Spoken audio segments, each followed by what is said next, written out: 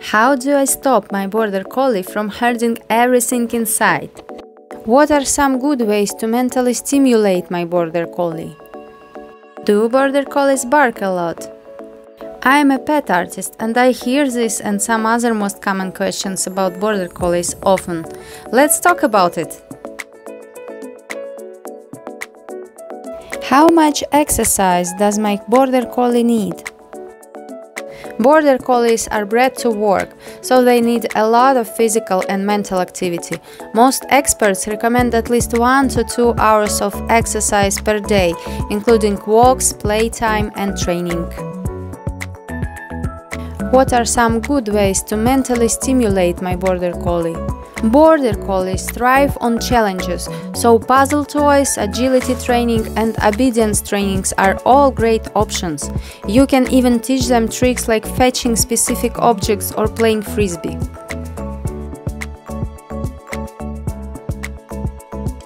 How do I stop my border collie from herding everything inside? Herding is a natural instinct for this breed, so it is best to redirect this behavior with toys, interactive games, and obedience training to keep their minds occupied. Basic commands such as stay, come, and leave it can be valuable in controlling herding behavior. Ensure your dog gets plenty of physical exercise through activities like running, playing fetch, or agility training. Consistency is a key in training any dog. If the herding behavior persists or becomes problematic, consider seeking assistance from a professional dog trainer or behaviorist. They can provide personalized guidance based on your dog's specific needs.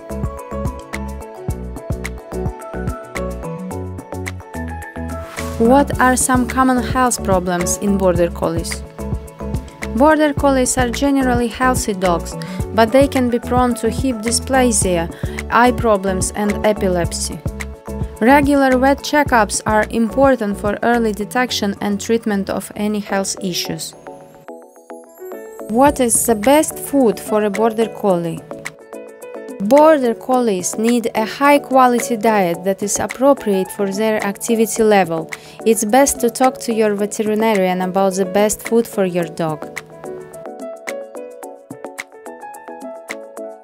At what age is a Border Collie fully grown? The majority of Border Collies will be at their adult height at about a year old.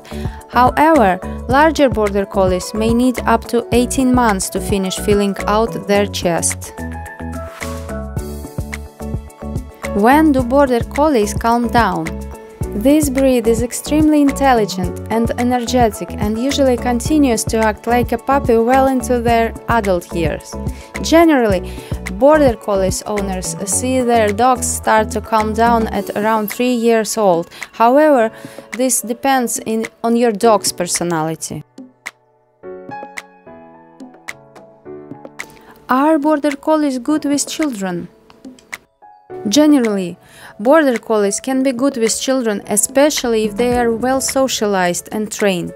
They are known for their intelligence and often form strong bonds with their families. But it's essential to consider the individual dog's temperament, early socialization, and training.